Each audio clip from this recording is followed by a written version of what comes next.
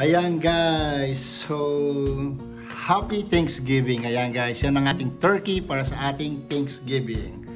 Once again, I'm Nino Jao Serrano. So samahan nyo ako sa pagluluto ko ng turkey. Ayan. Ayan guys, so yan lahat ng ating mga kailangan uh, sa ating pag-roast sa ating turkey. So, kailangan lang natin carrots. Ayan guys, hinihiwa ko na siya. Yun ang ating palaman. Celery. At meron din tayong bawang or garlic. Ayan guys. Ayan, so konti lang natin kailangan guys. Meron tayong sibuyas, onion, at meron tayong orange. Ayan guys. So, orange at lemon. Ayan. So, yun lang ang ating kailangan guys. At meron tayong rosemary. Ayan. So kung makikita nyo guys, ayan gumawa ako ng syrup, uh, orange juice, uh, orange juice and salt. Yun lang yung pinag-inject ko sa turkey guys. So pampalasa lang siya sa loob. Uh, yeah, pampalasa lang siya sa loob kasi guys, uh, makapalang laman ng turkey. Ayan. Ayan guys, kung makikita nyo guys, gumawa ako ng pang-wrap natin dyan. Salt, salt, pepper, and paprika. That's it guys. So yun lang ang ginawa ko sa dry brine natin guys. So ayan guys. Uh, ni-rub, rub, rub ko lang siya guys.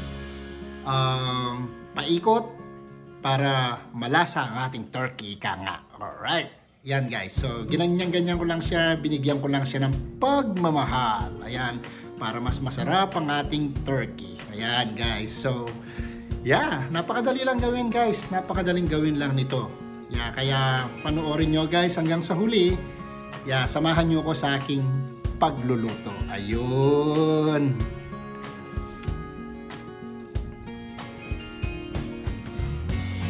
Ayan guys, so kung makikita nyo, ayan, uh, pinaikot-ikot ko lang siya, nirab-rab ko lang siya na ganon, that's it, ba? Ayan guys, kung makikita nyo din guys, uh, meron akong one stick of butter, unsalted. Yes, kasi guys, unsalted ang ginamit ko guys kasi uh, nirab na natin siya sa salt. Ika nga, yan, nirab na natin sa salt. Kaya hindi na natin kailangan ng salted butter. Ayan, yan.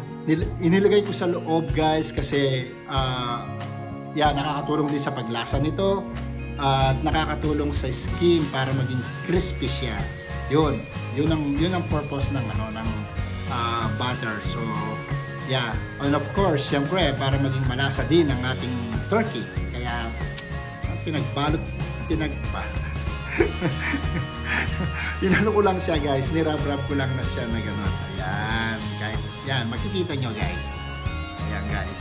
So, ililipat ko na siya ngayon guys. Tingnan nyo. Ayan.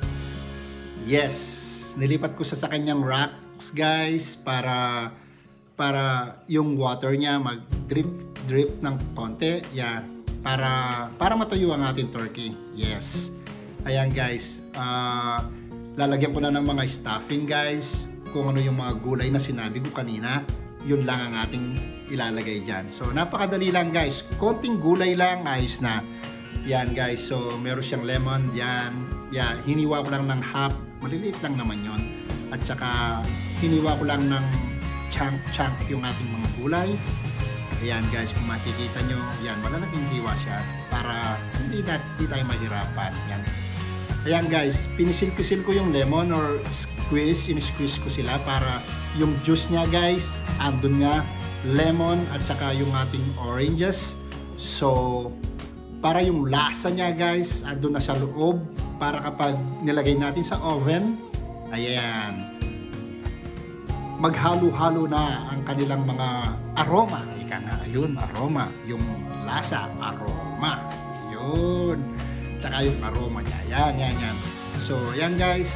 Yan, ganyan lang kadali guys. So, ang turkey natin para sa ating Thanksgiving. Once again, Happy Thanksgiving sa inyong lahat. Ayan, salamat sa inyong mga salamat sa inyong panonood. Ayan. Ayan guys, so sinusubukan ko guys kung ayun. ayun siya guys. So, yeah, kailangan lang natin itali. yeah.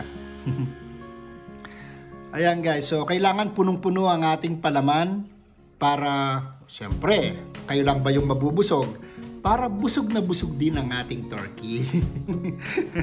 Pabubusugin natin siya ngayon at mamaya pabubusugin niya tayo. Ayun. So, ayun guys, nilagyan ko siya ng rosemary. Ayan, di ba? Tapos guys, yung mga excess natin na gulay, ilalagay natin sa underneath ng ano ng wrap ng turkey para yun din yung gagawin natin gravy yung sabaw niya guys yun ayan guys so itinali ko na siya. Ayun. Yan panoorin nyo guys kung paano ko siya itinali. Napakadali lang guys. Yan parang nagtali ka lang ng ano parang nagtali ka lang ng sapatos sika nga. Ayun! Yung wife ko. Kinat niya yung ano yung twine. Ayan guys, kung, kung makikita nyo guys, yung wings niya guys, nilagay ko dito, nakaganyan siya. So, yan, sexy sexy siya guys. Ayan, so inilagay ko siya sa, sa ilalim para hindi siya nakaganon guys, di ba? Yan guys. Ayun, ipapasok ko na siya sa oven. But before that guys, irarag ko siya ng olive oil para hindi masunog ang ating butter o ang skin ng ating turkey.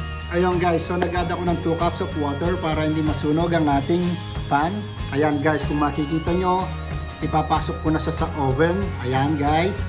So 400 Fahrenheit for the first 30 minutes. Yung first 15 minutes guys, kailangan nating i-rotate and then ibalik natin siya ulit.